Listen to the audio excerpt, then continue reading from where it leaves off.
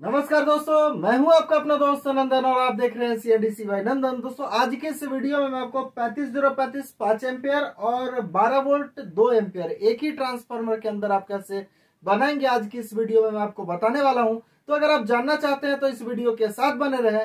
इस वीडियो को अंत तक देखे। मैं आशा करता हूँ कि इस वीडियो के अंत तक आपको सारी जानकारी मिल जाएगी। तो चलिए शुरू करते हैं। तो जैसा कि देख सकते हैं ये पैंतीस ज़ीरो पैंतीस, इसे भी मैं पाँच एम्पियर के अंदर बनाने वाला हूँ, और ज़ीरो बारह, दो एम्पियर एक ही ट्रांसफार्मर के अंदर होगी तो सबसे पहले प्राइमरी के लिए ज़ीरो और 240 के ऊपर हम लूप निकालते हैं। वो इसलिए कि 200 के अप्रोक्स वोल्टेज हो या फिर 250 तक हो तो ये ट्रांसफार्मर काफ़ी अच्छी तरीके से काम करेगी। तो इसलिए ज़ीरो, दो के ऊपर प्राइमरी की लूप निकालेंगे, सेकेंडरी में पहले पैंतीस, ज़ीरो पैंतीस की वाइंड कर लेंगे, और इसके बाद हम ज़ीरो बारह की वाइंड इसके ऊपर कर लेंगे, जो कि सिर्फ़ दो एम्पियर की है।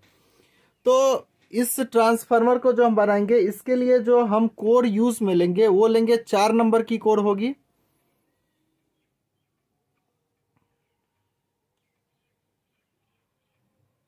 चार नंबर की कोर होगी और इसका दो इंच स्ट्रैक होगा। ठीक है, चार नंबर की कोर और दो इंच स्ट्रैक। जैसा कि आप सबको पता है कि किसी भी ट्रांसफार्मर की टर्न्स को निकालने के लिए सबसे पहले हमें टीपी भी निकालनी होती है। तो जैसा कि ये चार नंबर की कोर की जो बीच वाली पट्टी है, इसकी चौड़ाई जो होती है, वो होती है 1.5 इंच की।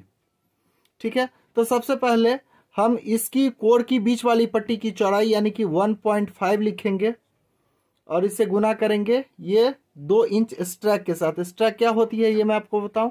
ये बॉबिन की साइज़ होती है बेसिकली तो जैसे ये ट्रांसफार्मर के अंदर देख रहे हैं क्वांटिटी ऑफ़ कोर आप कितनी कोर डालेंगे तो कोर इसके अंदर हम दो इंच डालेंगे चार नंबर की कोर तो सबसे पहले कोर की बीच वाली पट्टी की चौड़ाई हमने 1.5 इंच लिख दी और इसे गुना करेंगे स्ट्रैक के साथ, दो इंच के साथ।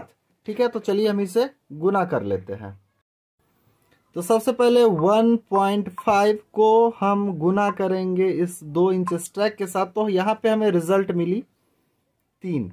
ठीक है तो जैसा कि मैंने आप सबको कई सारे वीडियोस के अंदर बताया हुआ अगर आप पहली बार हमारे इस वीडियो पे विज़िट कर रहे हैं तो सेवन जो अच्छी क्वालिटी की कोर होती है, चाहे वो सी सिक्स हो नाइनटी टू हो, या फिर जो अच्छी क्वालिटी की कोर है तो उसके साथ हम जो कैलकुलेशन में काम लेंगे फॉर्मूला वो है सेवन पॉइंट फाइव का। अगर आप का कोड जंग लगा है, उस कोर के अंदर कई बार ट्रांसफार्मर जली हुई है, या फिर उसके अंदर जंग लगी हुई है तो सारी प्रोसेस सेम होगी 7.5 की जगह आप आठ लिखकर बाकी कैलकुलेशन करेंगे।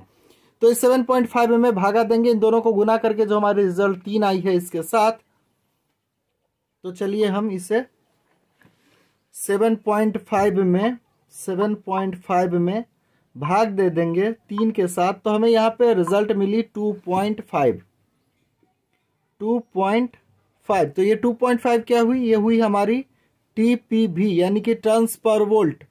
यानी इस, बॉबिन साइज़ के अंदर हमें दो दशमलव पाँच टर्न देंगे तो एक बोल्ट ड्रॉप भी करेगी और वापस से दो दशमलव पाँच टर्न देंगे तो हमारी एक हाँ। देंगे तो हमारी एक वोल्ट बाहर भी वापस आ जाएगी।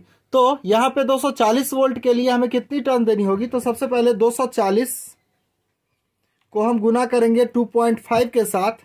तो जो हमें रिज़ल्ट मिलेगा उसे हम प्राइमरी के अंदर वाइंड करेंगे। तो यहाँ पे 240 इसे हम गुना करेंगे 2.5 के साथ तो हमें यहाँ पे रिज़ल्ट मिला 600 तो यहाँ पे 600 टर्न्स अगर आप देते हैं तो आपकी प्राइमरी की वाइंडिंग कंप्लीट हो जाएगी। अब बची बात सेकेंडरी के अंदर।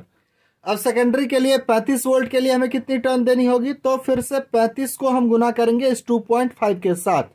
तो 35 गुने दो दशमलव पाँच सॉरी दो दशमलव पाँच। तो हमें यहाँ पे रिज़ल्ट आई एट्टी सेवन पॉइंट फाइव इसे हम अट्ठासी भी मान लेते हैं।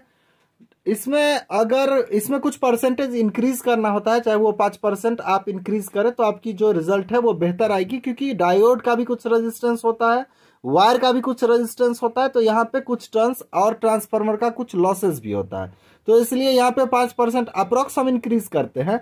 तो ये सतासी जो है, इससे हम यहाँ पे इक्यानवे टर्न अगर हम दे देते हैं तो यहाँ से वाइंडिंग स्टार्ट करेंगे ज़ीरो से, इक्यानवे के ऊपर हम पहली लूप निकाल लेंगे और फिर से इक्यानवे के ऊपर हम दूसरी लूप निकाल देंगे तो हमारी पैंतीस पैंतीस यहाँ पे कंप्लीट हो जाएगी। अब यहाँ पे बारह के लिए तो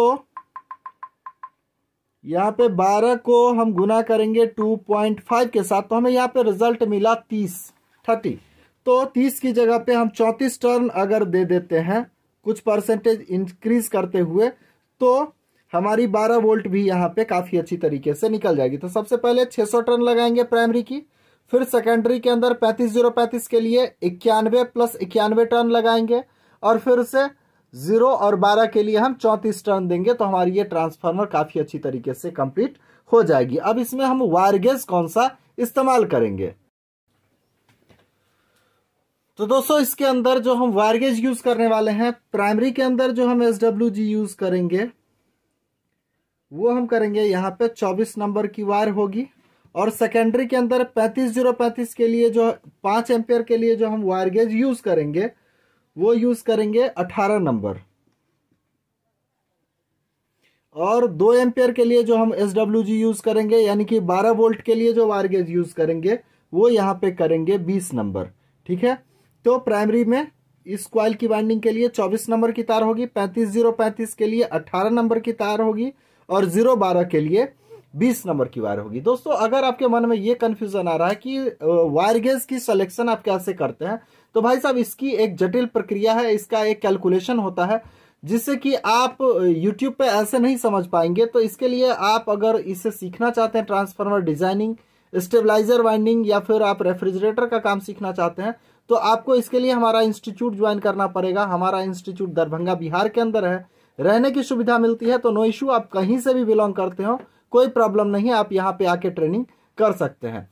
तो डिस्क्रिप्शन बॉक्स के अंदर हमारे इंस्टीट्यूट की एड्रेस और फ़ोन नंबर मिलेगी, आप डायरेक्टली उस नंबर के ऊपर विज़िट करके आप हमसे बात कर सकते हैं और आप हमारे इंस्टीट्यूट को ज्वाइन कर सकते हैं। तो दोस्तों, अगर इस डेटा के अकॉर्डिंग अगर आप इस ट्रांसफार्मर को बनाएँगे तो ये काफ़ी अच्छी तरीके से काम करेगी। तो दोस्तों, मैं उम्मीद करता हूँ कि हमारी ये बनाई वीडियो आपको पसंद आई और इस वीडियो से आपको कुछ नया सीखने को मिला। दोस्तों, हमारी वीडियो अगर आपको आती है पसंद तो प्लीज़ लाइक करें और आपका कोई भी सवाल या सुझाव है तो हमें कमेंट बॉक्स में ज़रूर लिखें। वीडियो को अंत तक देखने के लिए आप सभी दोस्तों का बहुत बहुत धन्यवाद।